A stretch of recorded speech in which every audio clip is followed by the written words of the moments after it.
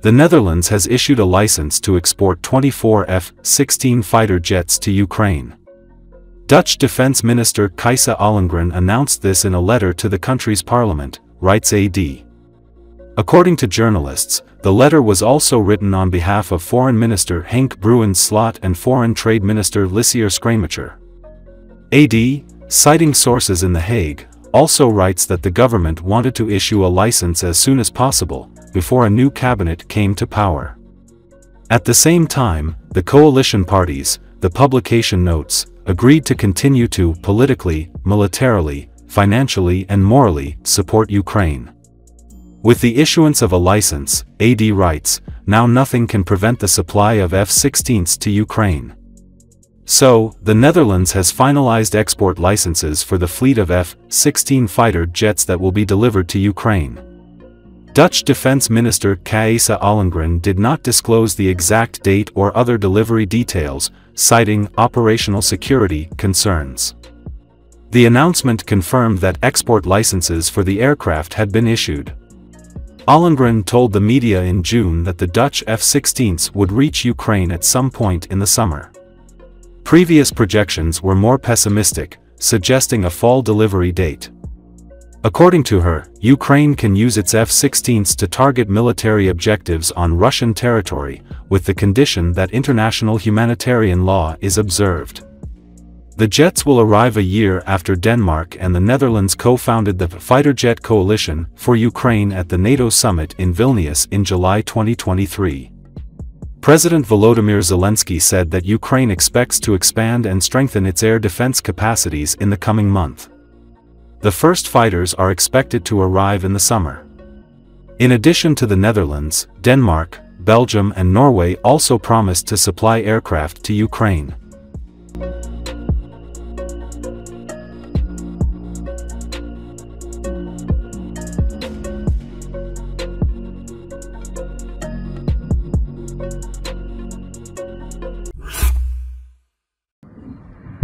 A missile attack has been launched on Crimea and Sevastopol city in the peninsula, local telegram channels reported.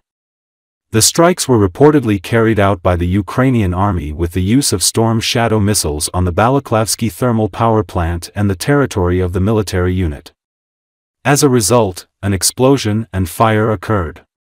The governor of Sevastopol, Mikhail Razvozayev, said that the air defense system was activated and five missiles were shot down. He also said that several cars were damaged during the attack. No casualties have been reported so far.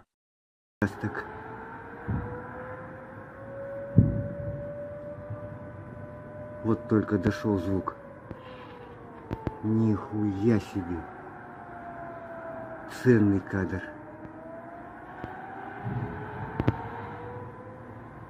Охуетительно. Блять, склад какой-то. Там же воинская часть, нахуй.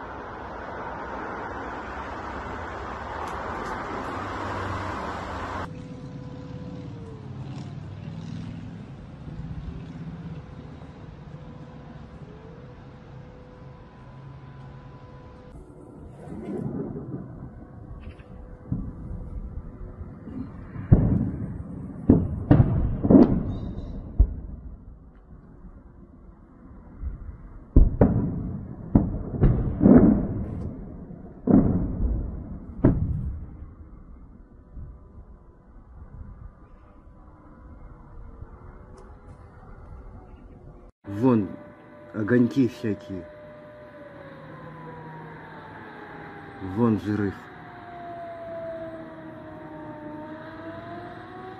Прям, ого, бабахнуло, смотри. Вот это, блядь, вот это да нахуй. Да, Димочка, блядь, ты на, на, на нормальном месте, блядь, купил, блядь, дом, участок.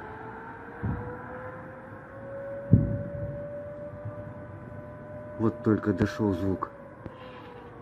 Нихуя себе. Ценный кадр.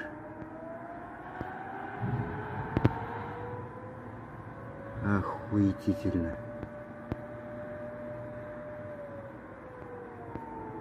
Блять, склад какой-то.